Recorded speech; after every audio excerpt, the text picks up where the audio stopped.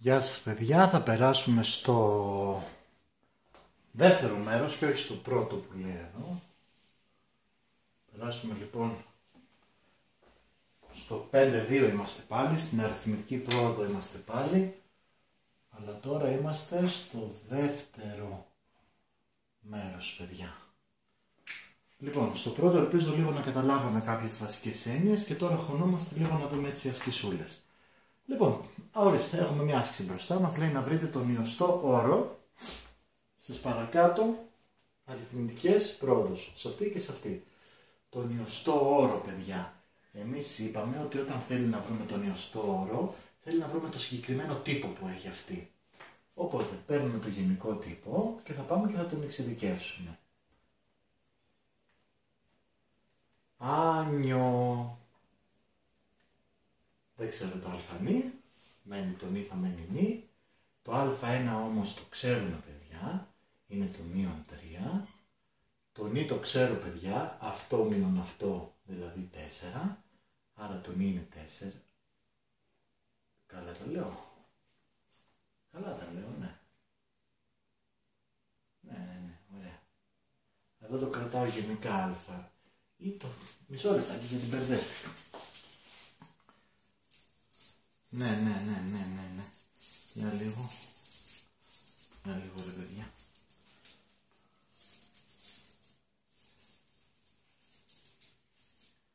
Θα το αφήσω το νι παιδιά, θα το αφήσω το νι γιατί το χρειάζομαι το νι στο τελικό αποτέλεσμα.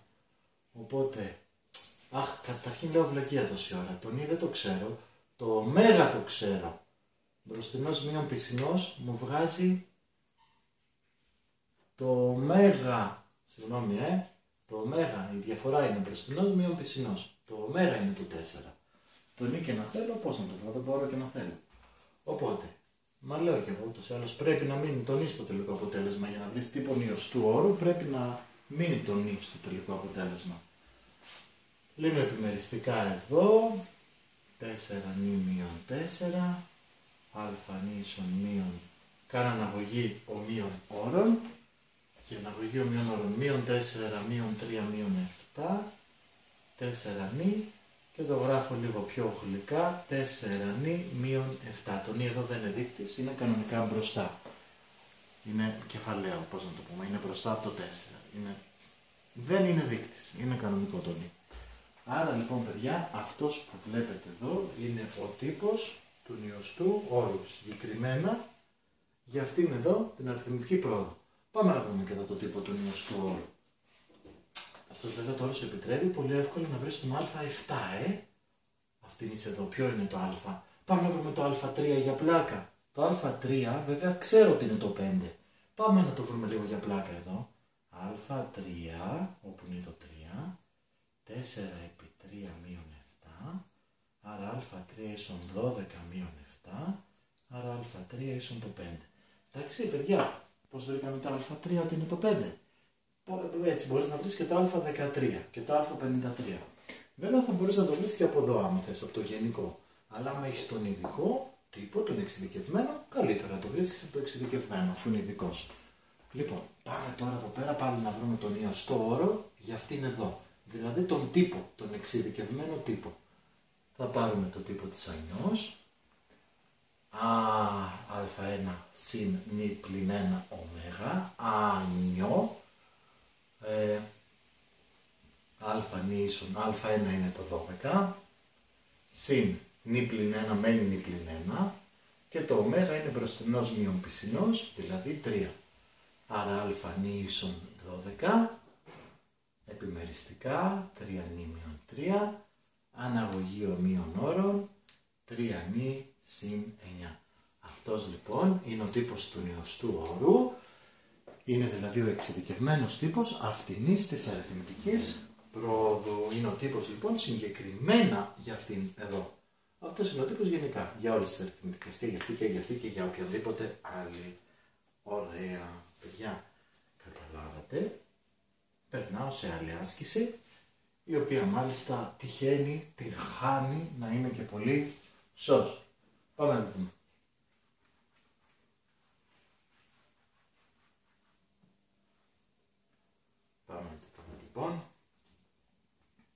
έρχεται και λέει. Αν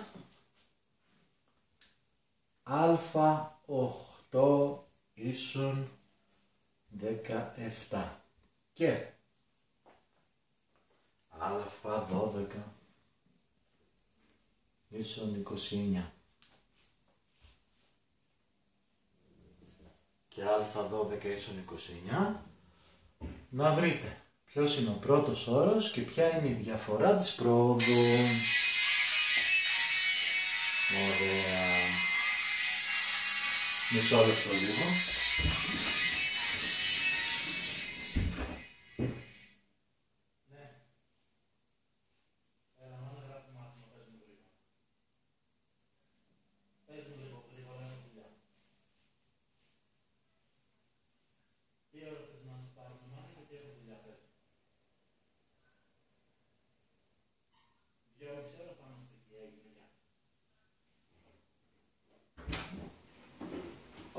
Παιδιά, συνεχίζουμε. Συνεχίζουμε, για να δούμε που είχαμε μείνει. Α8 μας ενημέρωσε ότι ο 8ος όρος είναι το 17. Ο 12ος όρος της αριθμητικής πρόοδου μας ενημέρωσε ότι είναι το 29 και ζητάει από εμάς να βρούμε το πρώτο όρο, το α1 δηλαδή και τη διαφορά της πρόοδου, το ω δηλαδή. Λοιπόν, παιδιά, για να δούμε λίγα τώρα τι θα κάνουμε. Ε, Βλέξουμε κανένα σχετικό τύπο. Ναι, τι άλλο να κάνουμε, δεν βλέπω κάτι άλλο. Σχετικός τύπος που θα μπλέξω είναι ο τύπος της ανιώ, του λιωστού όρου, της ανιός. Α, α1 είναι αυτό. Α, νιώ. Και κοιτάξτε λίγο πώς θα παίξω παιδιά τώρα. Μια φορά θα παίξω με αυτό εδώ. Και μια φορά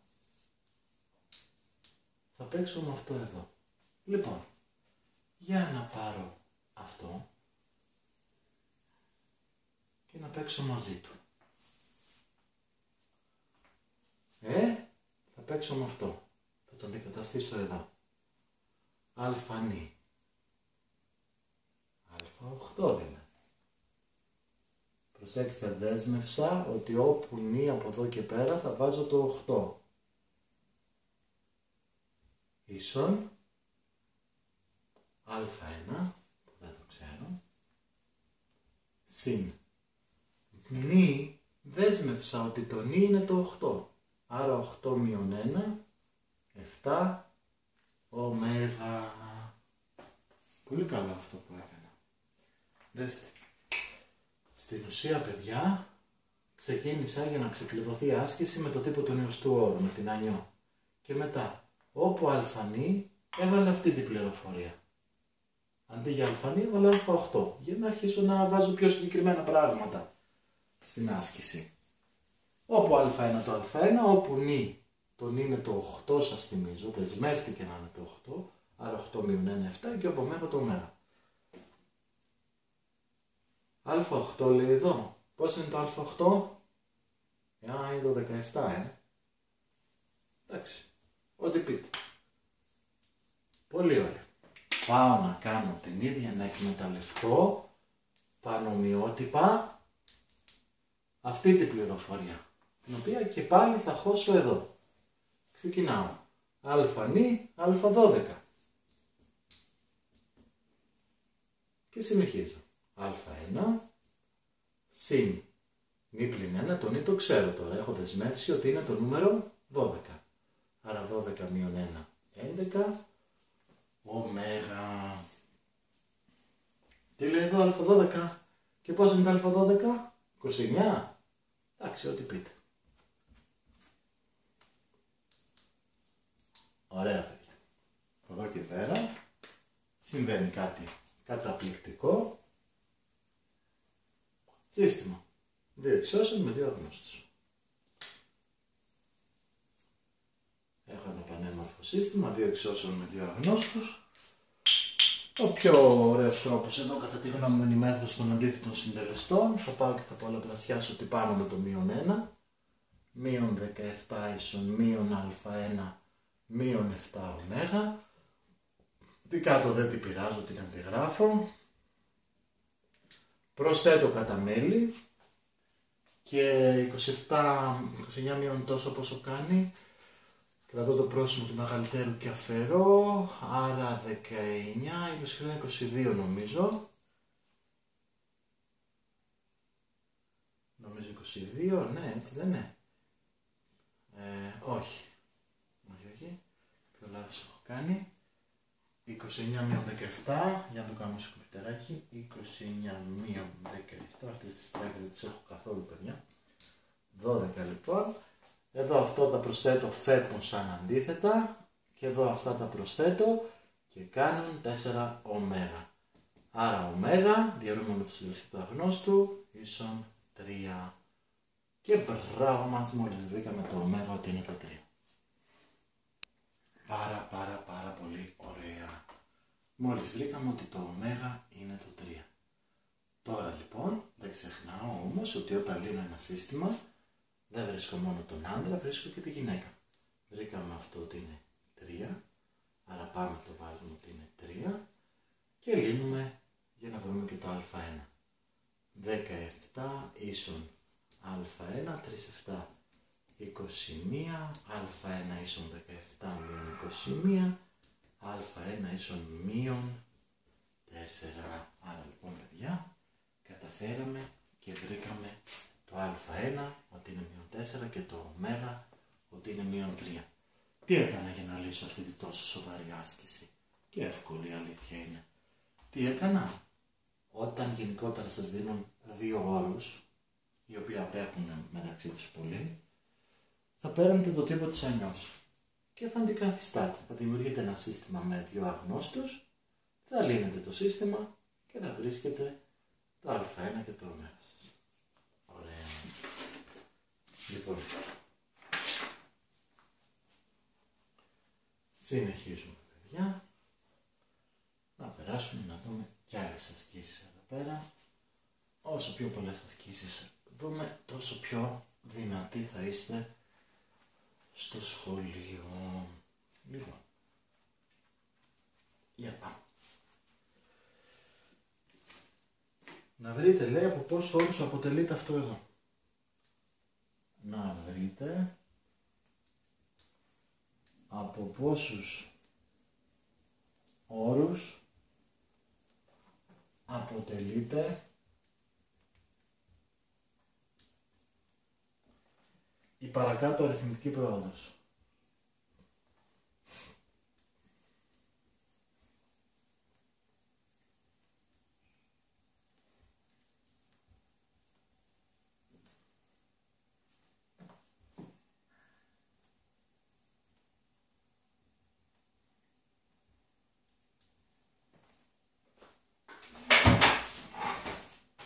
Λοιπόν, παιδιά, τι περίεργη εκφώνηση και αυτή, ε. Να βρείτε από πόσους όρους αποτελείται η παρακάτω αριθμητική πρόοδος. Για να πούμε βοηθητικά.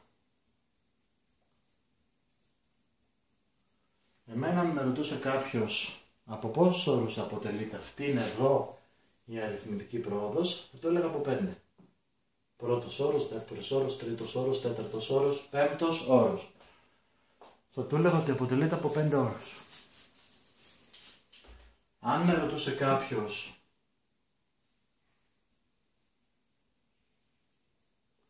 από πόσους όρους αποτελείται αυτήν εδώ, σκεφτόμουν λίγο, θα έλεγα ότι αυτή μεγαλώνει ένα 3, άρα εδώ είναι το 12, εδώ είναι το 15 και εδώ είναι το 18, άρα αποτελείται από 1, 2, 3, 4, 5, 6.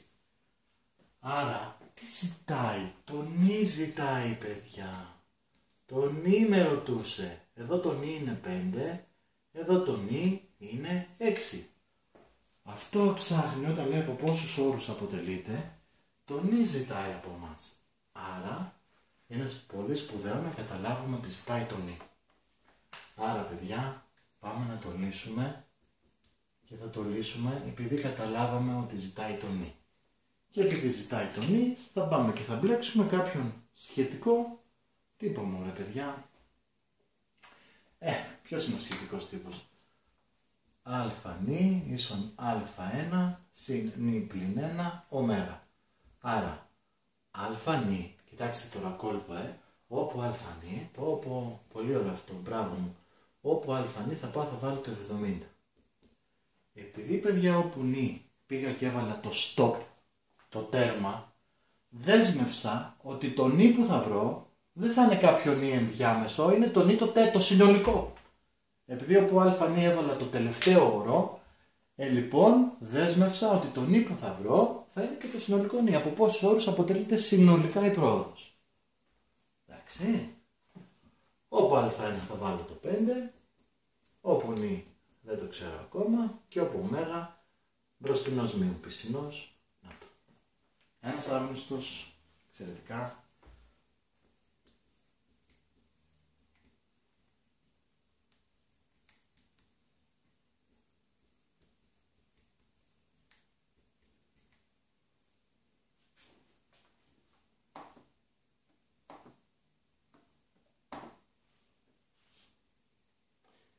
Το νη παιδιά είναι 14. Αυτό σημαίνει ότι αυτή η ακολουθία αποτελείται από 14 όρους.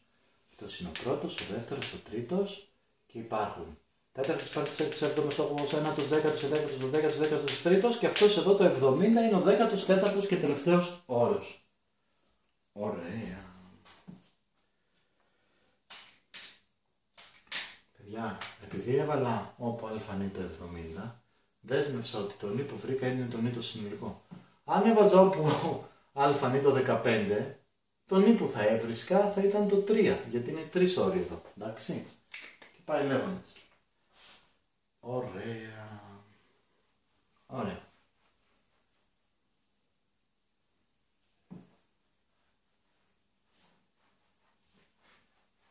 Για να περάσουμε λίγο σε μια δύσκολη την οποία αν δεν την καταλάβατε δεν πειράζει γιατί δεν τη ζητούν και πολύ συχνά. Να αποδείξετε λέει ότι αυτή εδώ η ακολουθία είναι αριθμητική πρόοδος.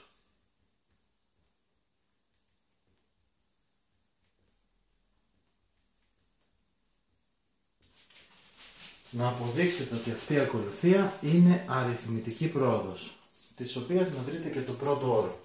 Της οποίας να βρείτε και το πρώτο όρο και την διαφορά. Δηλαδή το α1 και το ω. Παιδιά, αυτή την άσκηση, αν δεν την καταλάβατε, δεν πειράζει καθόλου, δεν τη ζητάμε σχεδόν ποτέ. Είναι αρκετά δύσκολη, ξεκινά. Την επόμενη θα πρέπει να καταλάβετε πάρα πολύ καλά. Την άσκηση που θα κάνουμε μετά από αυτή. Λοιπόν, ξεκινά. Κάποια στιγμή στο προηγούμενο βίντεο μάθημα, στο πρώτο μέρος, που είχαμε δει, είχαμε πει ότι αυτός εδώ ο τύπος μας δίνει το ως, μπροστινός μείον πισινό. Αλλά αυτός ο τύπος χρησιμεύει και να αποδεικνύουμε ότι κάτι είναι αριθμητική πρόοδος. Λοιπόν, άρα τώρα αυτό θα το πάρουμε για να αποδείξουμε ότι είναι αριθμητική πρόοδος. Ε, κοιτάξτε, ε, θα πάρω το πρώτο μέλος θα το δουλέψω και θα αποδείξω το ωμέγα, θα βρω το ωμέγα. Κοιτάξτε τώρα, με παρακαλάει να ανέβω πάνω σε αυτήν εδώ και όπου αλφανή να μην βάζω αλφανή αλλά να βάζω και όπου νη να μην βάζω νη αλλά να βάζω νη συν Αυτό με παρακαλά. Είναι αρκετά κοινικός μαζί μου, οφείλω να το παραδεχτώ αυτό και με παρακαλά να ανέβω πάνω και όπου νη να μην βάζω νη αλλά να βάζω νη συν να ανέβω πάνω, όχι σε αυτό το κομμάτι το στήρο, σε αυτό εδώ το γόνιμο. Και θα κάνω αυτό που με παρακαλά, παιδιά. Όπου νη θα βάζω νη συν 1. Ξεκινάω. 4 συν 3, αλλά αντί για νη θα βάλω νη συν 1. Όπως με παρακάλεσε. Εντάξει. Συνεχίζω. Μείον, μείον, αλφα νη. Ποιο είναι το αλφα νη αυτό εδώ; Εδώ από κάτω, κόμμα διακρίνεται ότι γράφει αλφα νη.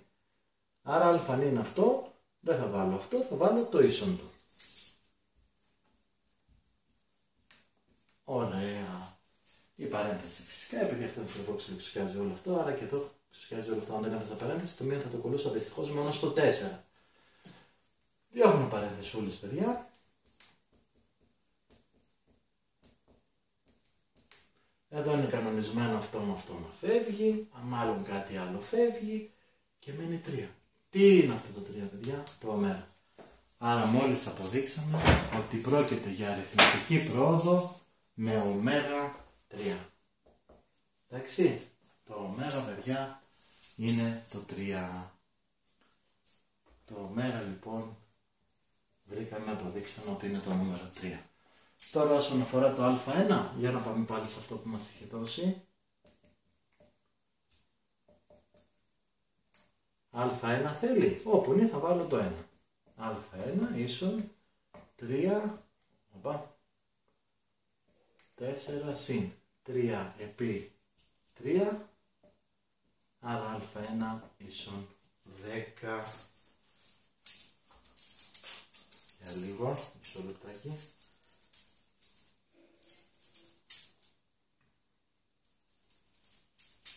μια βλακεία. Πάω στο τύπο αυτό για να βρω το α1.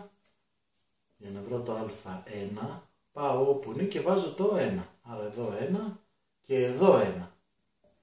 Άρα α1 ίσον 7. Κάπως έτσι παιδιά το αποδείξαμε. Ωραία. Είναι μια άσκηση που δεν θα επιμείνω περισσότερο. Αν δεν την καταλάβατε, λέω για μια ακόμη και τελευταία φορά ότι δεν πειράζει. Πάμε όμως τώρα παιδιά να καταλάβουμε μια πολύ φοβερή, τρομερή και σπουδαία άσκηση. Λοιπόν, ξεκινάμε. Να βρείτε το χ και το ω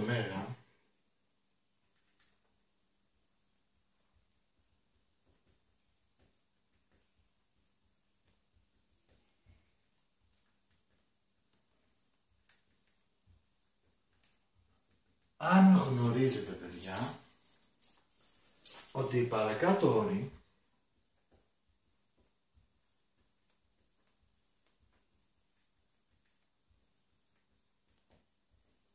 αποτελούν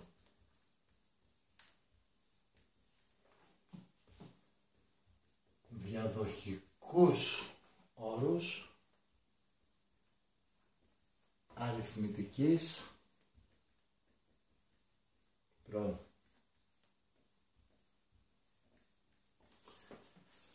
να βρείτε το χ και το ω αν γνωρίζετε ότι οι παρακάτω όροι, αυτοί που θα γράψω τώρα, αποτελούν διαδοχικούς όρους αριθμητικής πρόοδου.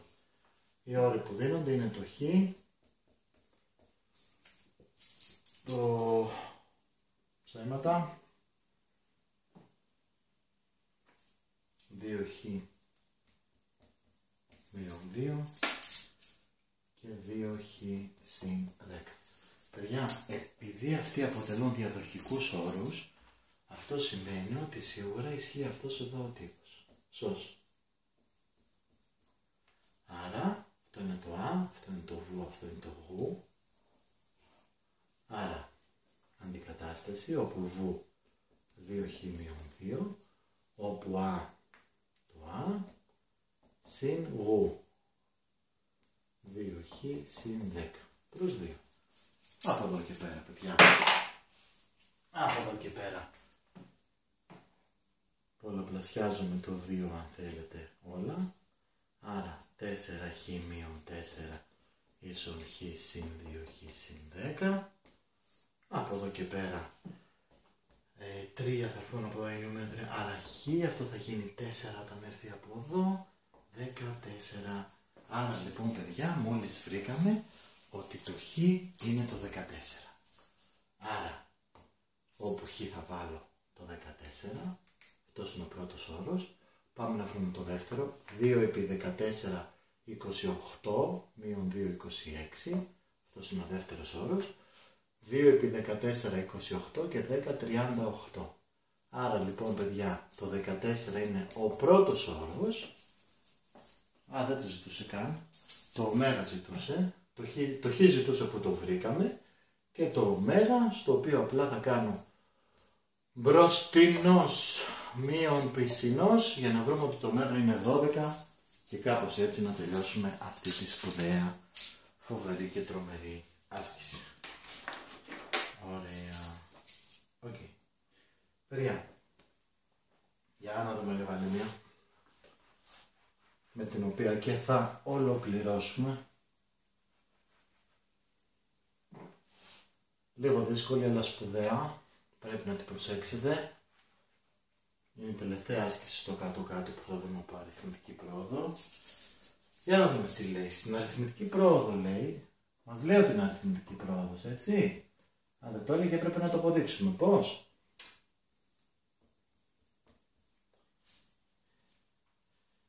Ε, θα έπρεπε να δείξουμε ότι έχουν σταθερό, με, αν, αν κάποια άσκηση το Μάιο δεν λέει ότι είναι αριθμητική πρόοδος,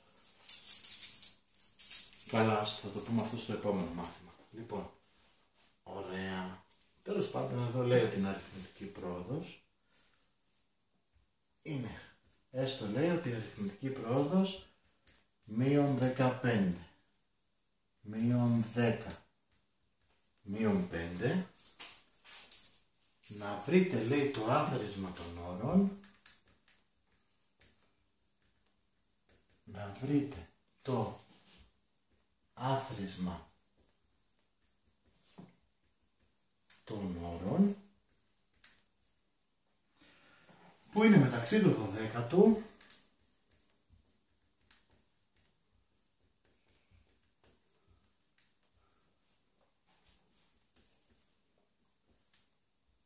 που είναι μεταξύ του 12ου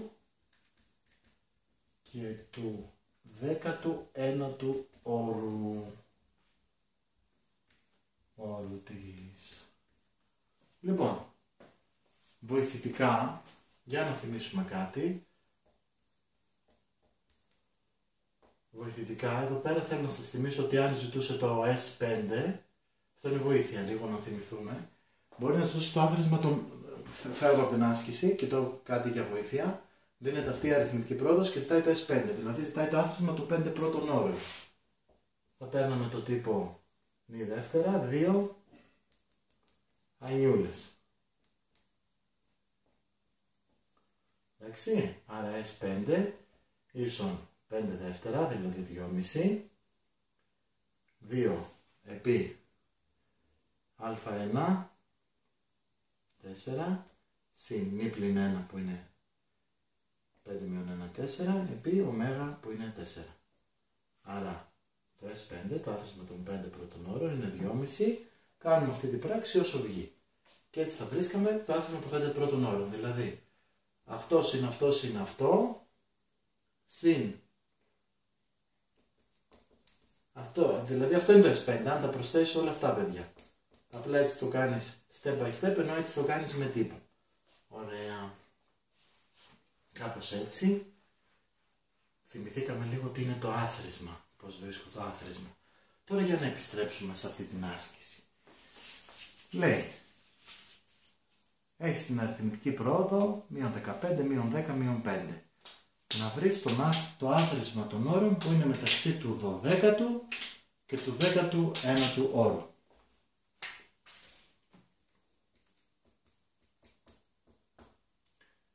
Να ο πρώτος όρος, να ο δεύτερος όρος, να ο τρίτος όρος, να ο τέταρτος, ο πέμπτος, ο έκτος,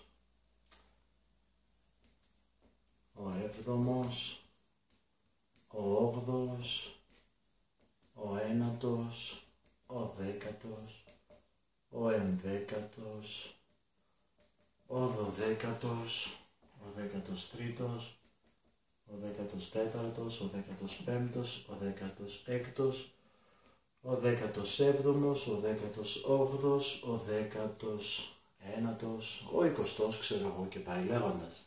Παιδιά, τι θέλει από μας; Θέλει να βρούμε το άθροισμα των όρων που είναι μεταξύ του 12ου, μεταξύ αυτού και του 19ου. Και αυτού εδώ. Και αυτού εδώ. Θέλει να βρούμε ποια είναι λοιπόν μεταξύ αυτών 12 και το 19 είναι τα πράσινα.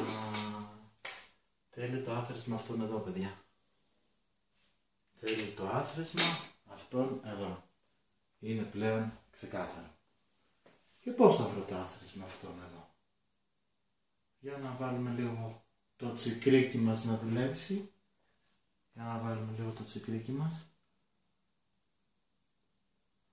Αν βρω, για να σκεφτώ λιγάκι. Το άθροισμα πόσο είναι από εδώ, από εδώ ως εδώ. Δηλαδή αν βρω το S 19 και αν από το S19 κόψω το S12 τότε θα βρω το επιθυμητό αποτέλεσμα. Παραλαμβάνω. Αν από το S19, από το άθροισμα των 19 πρώτων, κόψω αυτό εδώ πέρα, το S12, το S των 12 πρώτων, ε, θα με περισσέψει, πιστεύω, αυτό εδώ πέρα το πράγμα.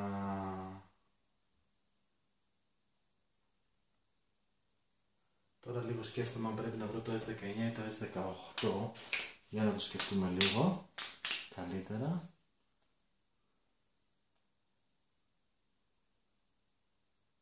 Εγώ θυμίζω ότι το ζητούμενο είναι τα πράσινα. Το πράσινο άθροισμα. Άρα ναι, το S18 θέλω παιδί. Οπότε θα βρω το άθροισμα ως και εδώ. Γιατί αν βρω το S18 θα έχω αθρίσει και αυτό. Και αν μετά κόψουμε το S12, τότε λοιπόν θα βρούμε το επιθυμητό μας αποτέλεσμα. Πολύ ωραία. Άρα κάπως έτσι.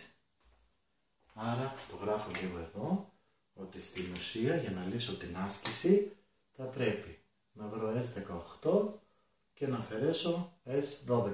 Πέστε το, θα πρέπει να βρω το άθροισμα των 18 όλων αυτών, από τους οποίους αν κόψω αυτά, θα περισσέψουν φυσικά τα πράσινα. Ωραία ιδέα. Ωραία ιδέα.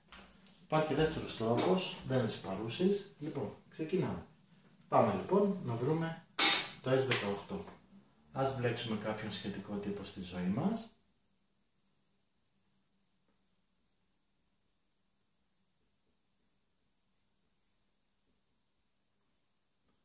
Οπότε παιδιά, S18, όπου είναι θα βάζω το 18, 18 δια 2, 9,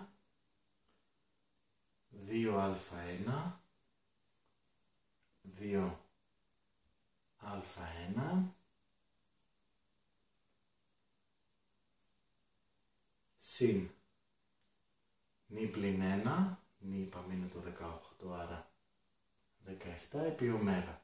Το ωμέγα είναι μπροστινός μείον πισινός. Εντάξει παιδιά.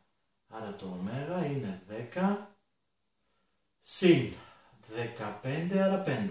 Το ω λοιπόν, μην μπερδευτείτε, είναι το 5. Άρα, αν κάνουμε πράξεις, μπροστινός μείον πισινός. Και μη πλήν πλήν συν. Λοιπόν, οπότε, αν κάνουμε πράξεις εδώ, θα βρούμε S18 ίσον 9 επί. Μείον 30 συν 17 επί 5 85 άρα λοιπόν παιδιά θα βρούμε ότι το S18 είναι 55 επί 9 55 επί 9 495 πάρα πολύ σωστά ωραία το ίδιο τώρα θα πάμε να βρούμε το S12 οπότε παιδιά S12 ίσον όπου είναι το 12. Εδώ θα κοιτάτε. Ε. Άρα πάμε. Όπου είναι το 12. Άρα 12 για 2, 6. 2 α1 συν νη πλην 1, τον είναι 12, άρα 11, επί ωμέγα που είναι 5, το έχω βρει πιο πριν. Άρα παιδιά, S12 ίσον 6 μείον 30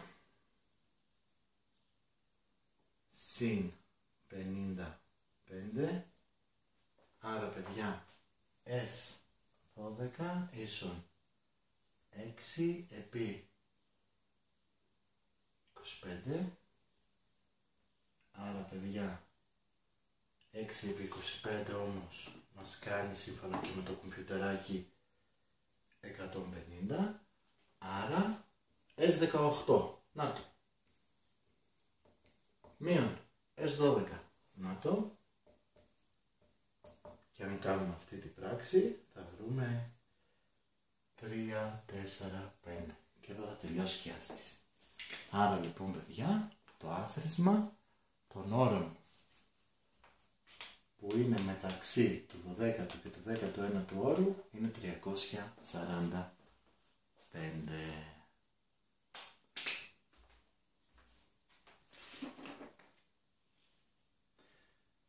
Κάπως έτσι παιδιά.